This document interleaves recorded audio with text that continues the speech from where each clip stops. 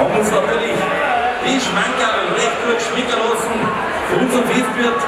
Jetzt haben wir eine Monstrum Durst bei der Hitze und gut gegessen, in der Sonne.